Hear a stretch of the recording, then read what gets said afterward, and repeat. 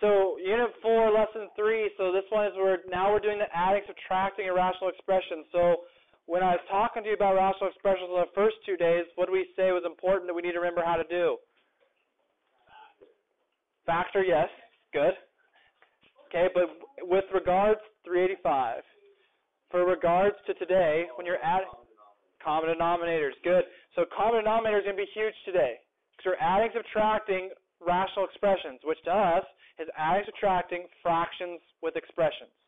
Okay, so we are going to have to have um, common denominator. So recall these steps in adding, subtracting rational numbers. So determine the lowest common denominator, okay, or common denominator, expressed as a rational number, and then you combine them from the top, bottom by adding, subtracting, whichever you're supposed to do. Okay, so just a quick refresher on common denominator, just basic. This is not today's lesson. Okay, this is just fraction review. So I have a 3 and a 5. Does 3 go into 5? No, so I'm going to multiply them by each other. This is how you find a common denominator if you forgot. Okay, by multiplying by each other, 3 times 5 and 5 times 3 is 15. So I'm going to have 15 in the bottom. That's my common denominator. Okay, then I to go 5 times 2 is 10. 3 times 2 is 6. 10 plus 6, I get 16 over 15. I prefer improper fractions, so mixed numbers you don't need to do. Okay. Questions on that? Okay.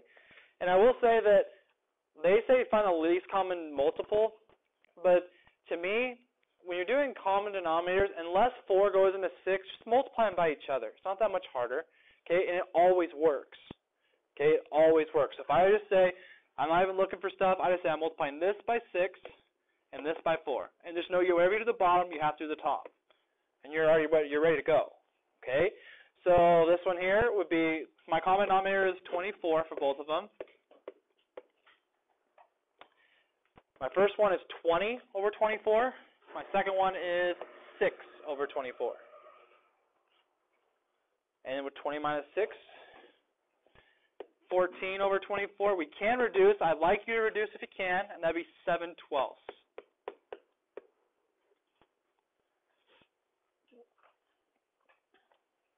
Okay. All right. When you have three of them, and you're going to get this a lot with your stuff today, you want to do kind of just do two, and then do the third one. Okay? Um, I would do, so I just go ahead and do these. 8 times 3, so I go 3, 8, 8, 3. So that's 21 over 24 minus uh, 16 over 24. 21 minus 16 is 5. So now I have 5 over 24 plus 5 over 12. That's where I'm at. So I combine these two. I got 5 over 24, and I'm adding the 5 twelfths. Okay, does 12 go into 24? It does, so this one we can do a little bit easier. We can go 5 over 24. I'm going to times this by 2. 10 over 24. So we get 15 24ths is our answer. Positive. Um, that does reduce, actually, doesn't it?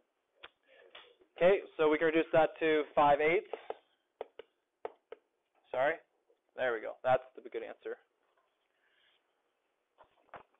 That's a quick common denominator review.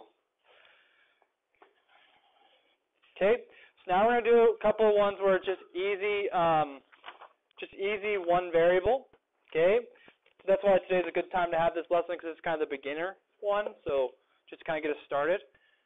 So we're going to do the same thing here. We still want to get a common denominator. So focus on getting the bottoms the same, and then we're going to put the stuff on tops together.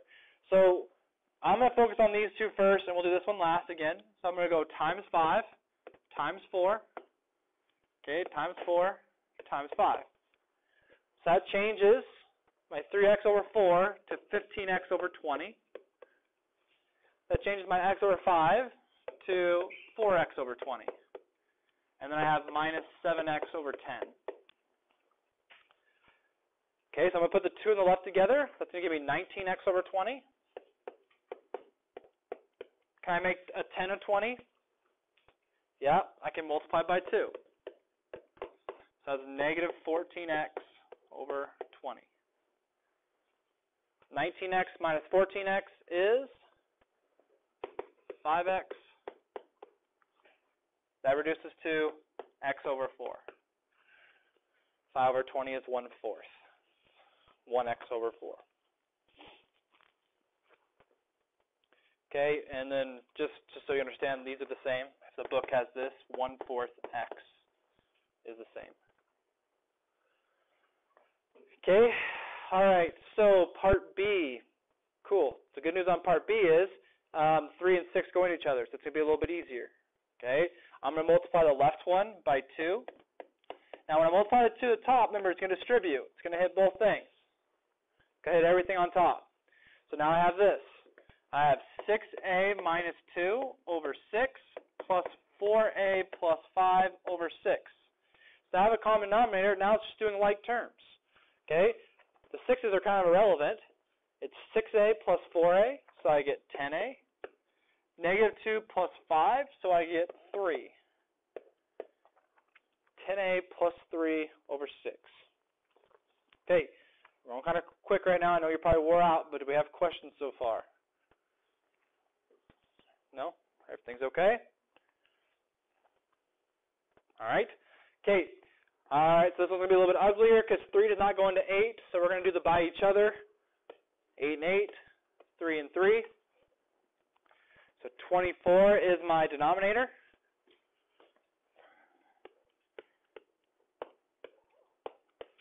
Okay, my top, 8 times 3, 24y, negative 9. Um, you could, if you want to break it up. You could have break. So if you want to reduce this one more, it'd be 10a over 6, which would be um, 5a over 3. But then you have to have a separate 3 over 6 plus 1 half. You can always cut the bottom or the top, but if that was on the bottom, you couldn't do that. Okay. Sorry. So next one, 16y and plus 8 over here. Okay, I want you to make sure this. where A lot of mistakes happen on tests here. This minus is hitting both of these. So the way I like to do it, I like to go 24 minus 16, negative 9 minus 8. Okay, so 24 minus 16 is 8y. Negative 9 minus 8 is negative 17, all over 24. And I'll just leave it like that.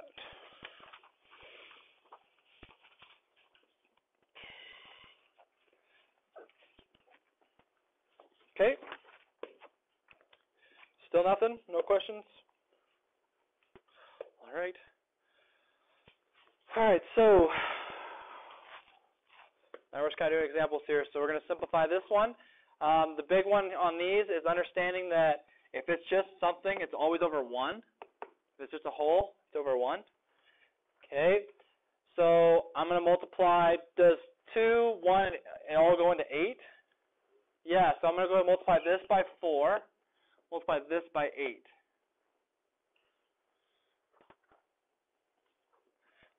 Distribute 28x plus 12 all over 8 plus 24x all over 8 and then minus x minus 3 over 8. Okay, so my x is I have a 28 plus a 24 minus a 1. So that's going to be a 51x. I have a 12 plus a minus a minus, which is a plus 3. So 12 plus 3 is 15. So the minus the minus there. All over 8.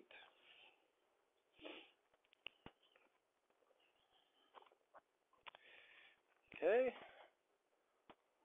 All right, part B, again, 3 goes into 9 and 1 goes into 9. So we're going to leave the middle and we're going to multiply 3 here and multiply 9 here to get all common denominators.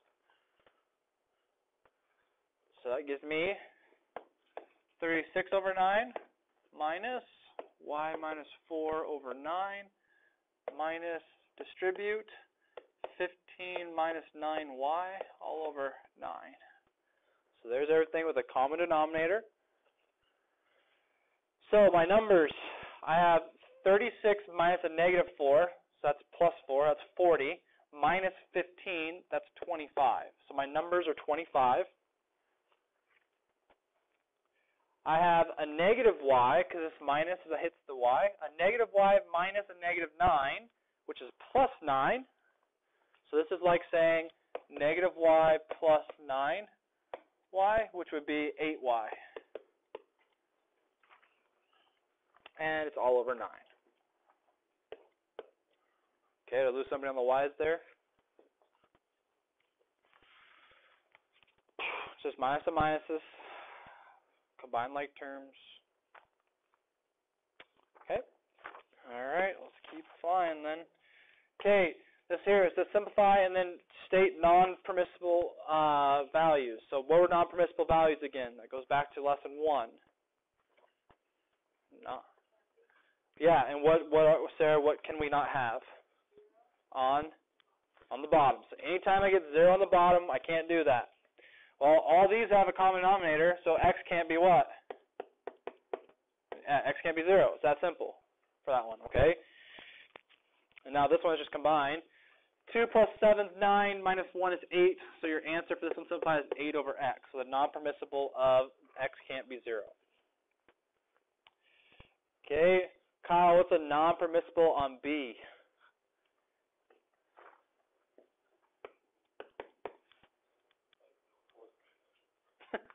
Okay. Well, what makes the bottom zero? Two times negative two is negative four. Zero, right? It's just zero. Okay, so a can't be zero, and now we do have a common denominator already, so we're going to put these together. 5a plus a, 6a. 3 plus negative 6 is a negative 3, all over 2a. There's your simplified fraction. Okay. Emma, what's my non-permissible for C?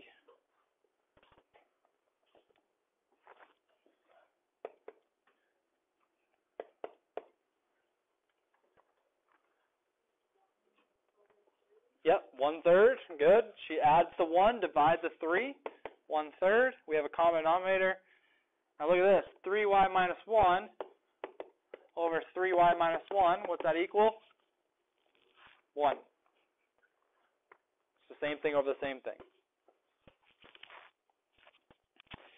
Okay, and Logan, what's my non-permissible for D? Negative 3, good. So x cannot be negative 3. That's my non-permissible. So these are your non-permissibles at the bottom if you're writing your notes in. Okay, we have common denominator, 4x minus 2x, I get 2x.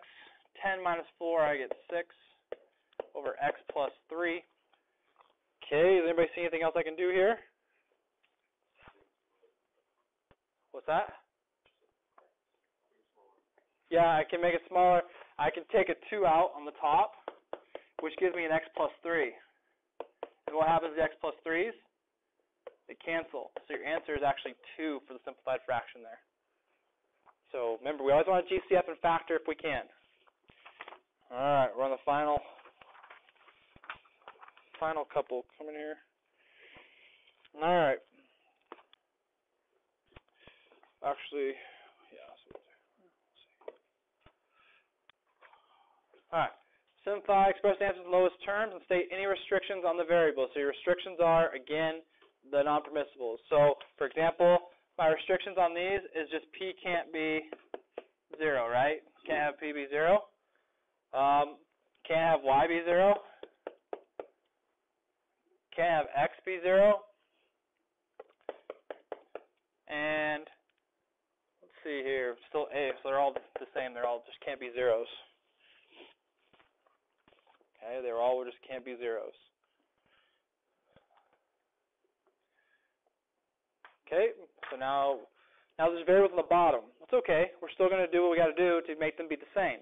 So 3p and 7p, I can still multiply this by 7 and multiply this by 3, and I'll get 21p on the bottom. 21p on the bottom, that means I'm good.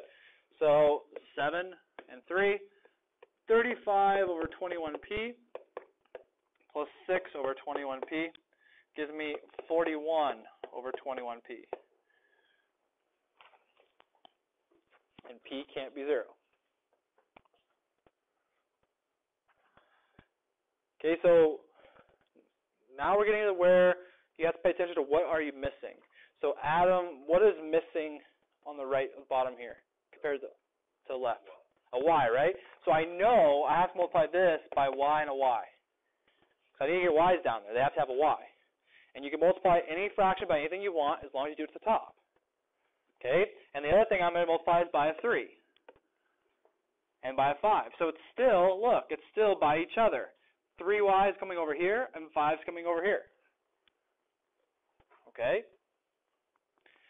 So, uh, that gives me 5 on top over 15y.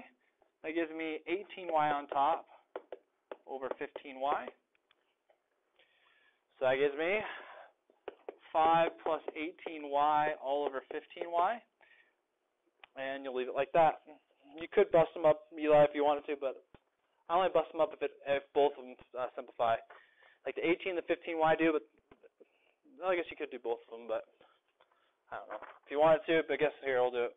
If you wanted one more step, it'd be 1 over 3y plus um, 6y over 5y. And those y's would cancel, so 6 over 5 if you wanted to.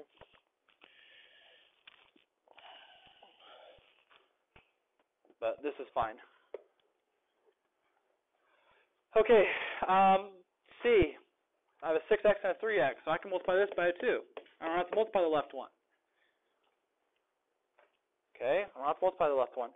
So I'm going to get 2x minus 5 over 6x minus 2 times 3 is 6x minus 4 all over 6x. So I have 2x minus 6x. That's negative 4x. Um, negative 5 minus a negative 4, which is a plus 4, gives me a negative 1. That's as simple as it gets. Negative 4x minus 1 all over 6x. All right, part D. What is, like we have an a squared and an a, so what am I going to have to do? What's that? Yeah, well, we want to get this to be a square, so how do you make an a a square? You times it by another another A. So I know I need another A over here. And then just steal the number, 2. So look, what's 5 times 2? 10. A times A, 10 squared. Times this by 5, I'm going to have a 10A squared. So again, by each other with shades of gray, we didn't have to do by an A2. 2A, 5. This gives me 5A plus 35 up top, all over 10A squared gives me a 6a all over 10a squared.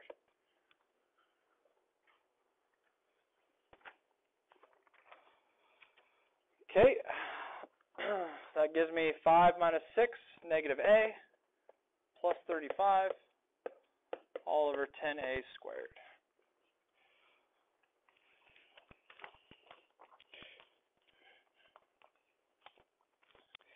Okay, I'm going to stop there. We'll finish the last page on Friday.